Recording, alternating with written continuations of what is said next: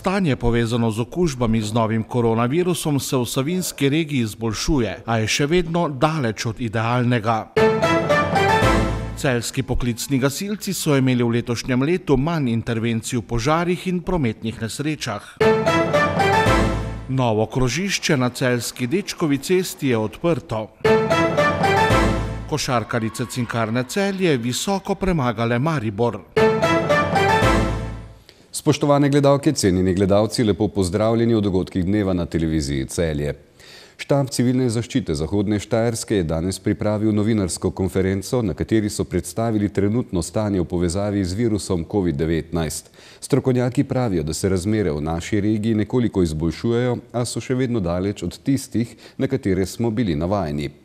Odgovorni pozivajo na odgovorno obnašanje med božično-novoletnimi prazniki, saj se bomo le tako lahko izognili tretjemu valu oziroma ga saj nekoliko omilili. Razmere, ki jih narekuje virus COVID-19, so vsem spremenile vsak dan. Ključno pa je, da smo v tem času vsi odgovorni do sebe in do drugih. Na današnji novinarski konferenci so vsi še enkrat opozorili, da lahko proti širjenju virusa veliko naredimo ravno sami. Bližajo se božični prazniki, novo leto, ko se pripravljamo na praznovanje, ki bo letos potekalo v novi realnosti. Eh, vsi strokovnjaki nam svetujejo, da, da naj tradicionalne praznike praznujemo brez družen in nazdravljanja. Res smo tudi v Sloveniji vsi vajeni, da božične praznike preživljamo v krogu družine in prijateljev. Eh, vas, medije, tem, ter tudi vse prebivalce pa pozivamo, da, so, eh, da, da posebej upozorite, da je druženje letos odsvetovano. Saj je za zastavitev virusa najpomembnejša fizična razdalja. Kot poveljnik civilne zaščite Zahodno Štajersko regijo vas prosim, da tudi, če morda ne verjamete v stoj te bolezni, spoštujete vse ukrepe, ki pripomorejo k zajezitvi virusa. Ob morebitnih srečanjih svojci, znanci, prijatelji, premislite, ali ne bi morda takrat spustili objem ali stisk roke in pogovor upravili na ustrezni fizični razdalji ali bolje še prek telefona in ostalih aplikacij, kar omogočajo videoklici. V zahodno-štajerski regiji se družno borijo proti širjenju virusa s številnimi ekipami. Na naši regiji, se pravi zahodno-štajerski regiji, ki pokrivamo 33 občin, delujemo neprekinjeno že 60 oziroma 61 dni. V vseh teh dnevih. Prav tako deluje tudi v vseh občinah, se pravi 33 občin deluje neprekinjeno. Eh, v, teh dneh, v vseh teh dneh je bilo aktivno vključenih 10.957 pripadnikov sil za zaščito in reševanje. Eh, tu so vključeni tudi razne prostovoljne in druge organizacije, ki so kakorkoli vključene pri uh, zajezitvi tega virusa. Dnevno poprečno deluje nekje 184 pripadnikov, uh, trenutno se ukvarjamo oziroma je najbolj pereče stanje za število okuženih v uh, varovance oziroma ter zaposlenih v domovih za varstvo odraslih, kjer občino oziroma tudi mi uh, podarjamo oziroma namenjamo posebno pozornost. V splošni bolnišnici celje so razmere stabilne, po enem mesecu končno opažajo rahel upad, a to še ne pomeni zmage, poudarja strokovni direktor splošne bolnišnice celje Franc Vindišar. Bistveno torej je, da sploh v teh prazničnih dneh poskrbimo, da jih preživimo predvsem v omejenem druženju. Samo tako bomo skupaj preprečili širjenje okužb s koronavirusom in ublažili morebitni tretji val. Celjski poklicni gasilci so z delom v letošnjem letu zadovoljni. Opravili so sicer manj intervencij v požarih in prometnih nesrečah, njihovo delo pa je zaznamovala predvsem epidemija novega koronavirusa. Podpisali so tudi pogodbo za nakup novega gasilskega vozila, namenjenega intervencijam v primerih nesreč z nevarnimi snovmi.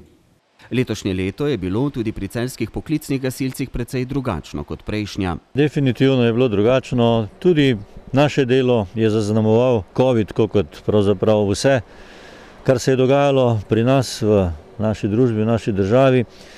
Moram reči, da smo zdaj pri koncu vendarle lahko zadovoljni z vsem, kar smo postorili, kar smo pomagali ljudem. Opažajo, da se je v dobršnem delu spremenila struktura intervencij. Nekoliko manj je bilo prometnih nesreč, nekoliko manj tudi požarov, vendar pa vsej v tej drugi polovici, v tem drugem valu COVID-a smo imeli ogromno teh dezinfekcij, posebej pri teh domovih za starejše. COVID pri našem delu ni pustil nekih posledic.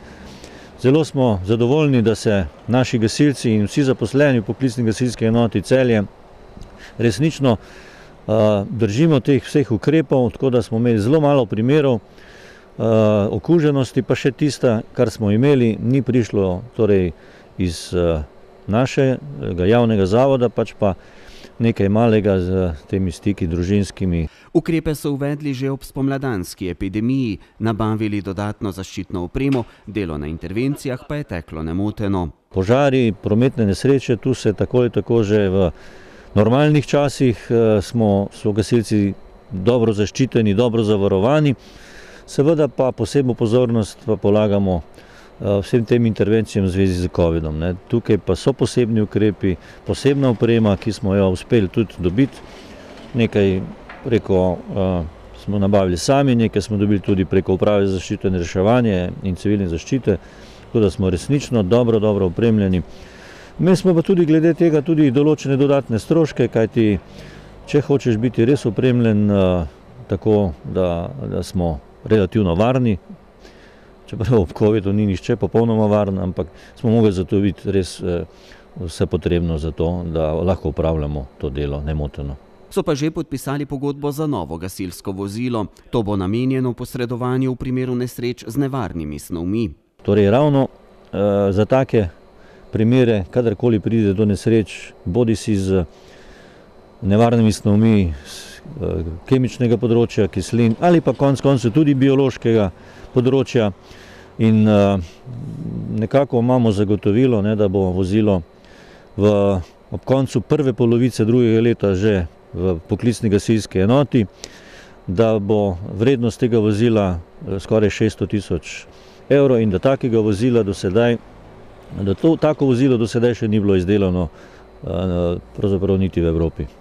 Del sredstev so za naložbo namenili letos, del bodo zagotovili v prihodnjem letu, ko načrtujejo še eno naložbo. Mislimo tudi nekoliko posodobiti prostore našega servisa, naše polnilnice, kajti v teh težkih časih moramo tudi kar nekaj sredstev zbrati sami, se pravi zaslužiti na trgu s temi servisi, in moramo tudi omogočiti tem, torej tako servisu kot tudi gasilcem, ki delajo v servisu, čim bolj optimalne pogoje, kajti letos smo dejansko videli, ne, da delovanje servisa je še kako pomembno, kako za delovanje naše enote, kajti brez teh sredstev, ki jih sami zaslužimo, bi težko kaj lahko nabavili. Res je, da Mestna občina Celje skrbi za nas, vendar pa recimo za take investicije moramo ogromno sredstev pridobiti tudi sami.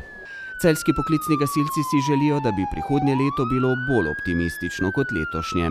Vsem bi zaželel seveda ob koncu tega iztekajočega težkega leta, da bi naslednje leto bilo brez covida, brez vseh teh težav, s katerimi se ob takih boleznih, v takih epidemijah soočamo, da bi bili zdravi, da bi bili zadovoljni, da bi bili ljudje uspešni tudi na poslovnem področju in naj bo naslednje leto najlepše leto v življenju vsakega od nas.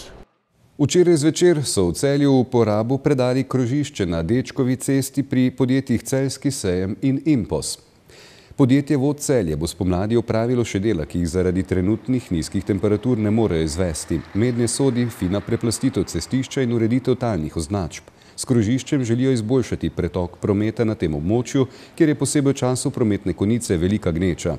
Krožišče bo pripomoglo k bolj varnemu vključevanju prometa iz Opekarniške na Dečkovo cesto in obratno. Z novim krožiščem pa so pridobili tudi nov krak glavnega uvoza na Celjski sejem. Posebnost in novost eksperimentalnega krožišča je levi zavijani pas znotraj jedra krožišča, ki je predviden za tiste voznike, ki zavijajo levo z Dečkove ceste proti Opekarniški, vendar jim ne daje prednosti pred prometnim tokom, ki poteka v rondoju. Poleg izvedbe eksperimentalne prometne ureditve z umestitvijo krožišča so ustrezno uredili tudi odvodnjavanje, javno razsvetljavo in postavili novo prometno signalizacijo. Naložba je vredna 145 tisoč in 530 evrov. Celjski skauti so na mestno občino prinesli luč miru. Kaplana Matica Lesjaka in skauta Jerneja Hernausa so sprejeli župan Bojan Šrot, podžupanja Breda Arnšek in podžupan Vladimir Ljubek. Letošnji svetovni sprejem luči iz Betlehema je bil minuli konec tedna v Salzburgu. Slovenska delegacija je plamen prejela na mej z Avstrijo in ga ponesla po vsej Sloveniji, med drugim tudi v celje. Celjski župan Bojan Šrot je ob sprejemu dejal, da luč miru letos potrebujemo bolj kot kadarkoli prej. Želi si, da bi njeno sporočilo doseglo čim več ljudi. V prvi tekmi 13. kroga ženskega košarkarskega državnega prvenstva so košarkarice Cinkarne celje v svoji dvorani 97 proti 53 premagale Maribor. Celjanke so z enajstimi zmagami in dvema porazoma na vrhu prvenstvene lestvice. Že ta konec tedna pa jih v njihovi dvorani čakata dve tekmi v mednarodni Vaba ligi. Mariborčanke so se aktualnim prvakinjam enakovredno opirale le v prvi četrtini. Nadaljevanje je bilo povsem v znamenju rumenih, ki so v polčasu vodile za 17, na koncu pa je njihova prednost znašala 44 točk. Razen zmage ne morem biti zadovoljen z, ne bom rekel s pristopom, rekel bom s koncentracijo, ki ni bila prava. Tako da mislim, da od današnje tekme pravzaprav nismo imeli nič. Upam, da bo to v soboto in nedeljo na veliko višjem nivoju. Predvsej bolj zadovoljen je bil trener celske zasedbe prejšnji konec tedna, ko so celjanke zanesljivo slavile v derbiju proti Triglavu v Kranju.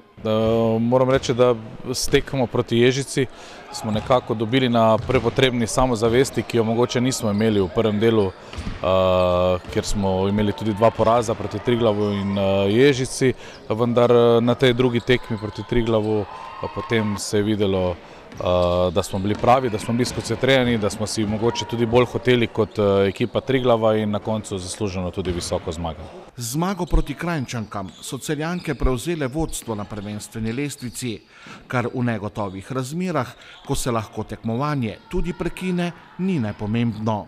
Ja, ni nepomembno, ni pa sigurno to najbolj ključno. Najbolj ključno je to, da se vidi, da punce napredujejo, da prihajajo na nek višji nivo in da igrajo na višjem nivoju, da samo Jadransko ligo dobivamo tudi na samih izkušnjah prepotrebnih, ki jih potem unovčimo tudi v samem državnem prvenstvu, kar je bilo vidno na zadnjih dveh tekvah proti Ježici in Trigli.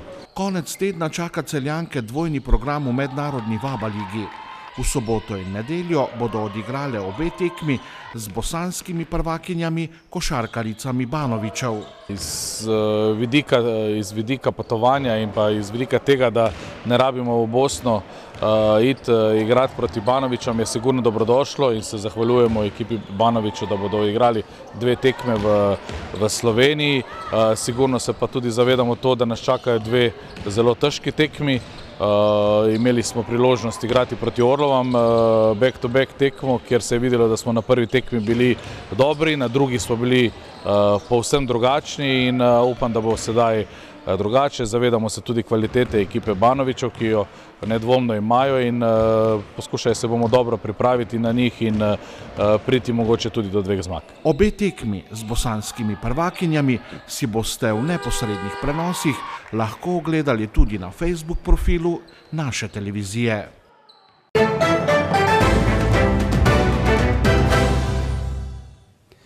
Jutri bo oblačno in ponekod megleno, nekaj jasnine bo le v gorah. Proti večeru bo ponekod v hribih zahodne Slovenije rosilo ali občasno rahlo deževalo. Najniže jutranje temperature bodo od nič do 4, v Alpskih dolinah do minus 4, ob morju okoli 8, najviše dnevne od 2 do 7, na primorskem do okoli 11 stopinj Celzija. V nedeljo bo oblačno, ponekod na primorskem in notrenskem bo občasno rosilo ali rahlo deževalo. Ponedeljek bo oblačno, na severovzhodu bo po večini suho, drugod bo občasno rahlo deževalo. Prišli smo do konca dogodkov dneva na televiziji Celje. Lepo izkoristite vikend, ki je pred nami, spočite si, naberite se novih energij in bodite z nami ponovno v ponedeljek. Lepo zdrav in srečno.